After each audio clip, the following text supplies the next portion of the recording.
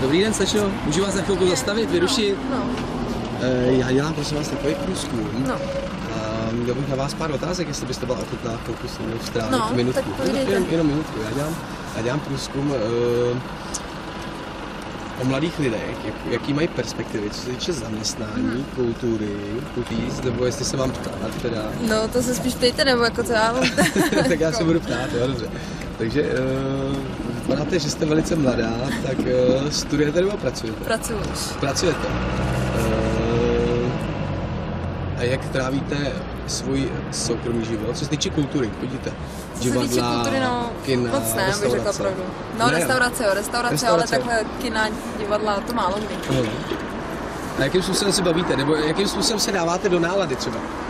Se tak zeptám, jako třeba nevím, někdo pije, No, tak někdo, do nálady nebo někdo nedělá nic. záleží na tom, tak koho máte kolem sebe. Jestli Jo. dobrý lidi, tak pití nepotřebujete. Jestli to je, To je pravda, naprd, to je tak, pravda, to je tak si nějakou tu Takže vaše, váš kulturní život vypadá tak, že sedíte v hospodě a chlastáte s kamarádama. Ne, to zas ne, to zas ne, ale, ale tak ráda chodím takhle jako se pobavit s přáteli. Ještě se, co se zeptal ještě? Uh, jo, a co vaše perspektiva, zaměstnání? Moje perspektiva v zaměstnání, no, tak jako já pracuji, tak doufám, že to jako bude jako, Děláte práci, kterou máte ráda třeba.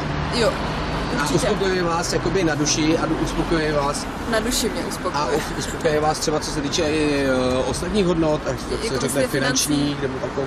No, to, tak mohlo by to být lepší, jako co se budeme povídat dneska. Já jsem tam, prací.